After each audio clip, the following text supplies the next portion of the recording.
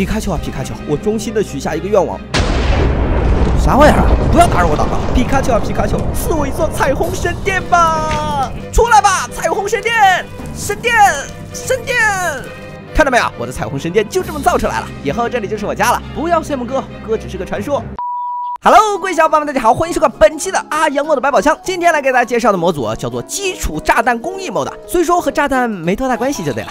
看到我手里的这只皮卡丘没有？正确的用法是这样的：只要我周围有怪物，而且是无论多少怪物，只要我拿着皮卡丘，每隔一定时间就会有闪电从天而降。哎哎哎，我的羊毛地毯怎么被闪电给点着了？别烧起来啊！不要。没关系，既然那个地方用不了了，那我们就换一个地方。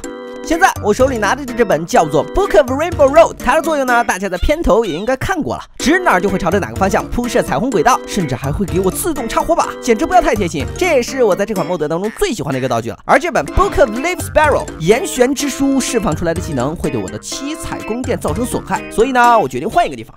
哦，那就这个地方了。使用岩玄之说，在释放处创造一个短暂存在、由岩浆方块所组成的流动漩涡。记得要往自己脚下放啊，不然烧到的会是自己。Book of Exploding Fist，爆炸猛拳之说。这本书简直就是为熊孩子而量身定做的呀！创造一串由魔法生成的红石块起爆的天敌炸药。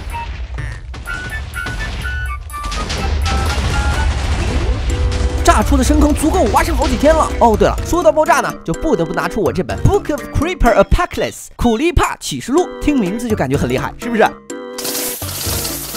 我现在呢，找了一个比较空旷的地方，让你们看看它的厉害之处。啊！怎么回事？怎么把我炸飞那么远呢？要是生存模式，那岂不是当场就被炸成爆米花了？而且这些苦力怕爆炸以后啊，会在原地生成一团红色的气体。当我站上去以后啊，还可以获得持续十秒钟效果抵抗 buff。这算什么？苦力怕的恩赐吗？接下来这本 Book of Frozen Dew 冰霜使者，它的特效简直了！只要你对着你的平面 Y 轴啊，使用这本冰霜使者，它就会朝着 Y 轴方向发射五道冰块射线。可惜的是，无论在雪地还是在沙漠里面啊，这种冰块转瞬即逝，具体的作用呢，也不知道有什么用。难道是 PVP 的时候可以卡别人的走位吗？而这本 Book of DJ Snake，呃，名字为什么会那么奇怪呢？难道会召唤出一群会蹦迪的蛇吗？嘿 嘿嘿，其实你们想多了，只不过是向各个角度发射出七彩羊毛，延伸出去的样子，好像是一条 snake 一样，哈哈，好蠢的道具啊！那我们本期的 I M 的百宝箱到这里结束了。其实这款 mod 里面还有很多很多好玩的道具，介绍的时间不够了，喜欢的小伙伴们呢可以自行体验一番。那我们下一期再见喽，拜拜。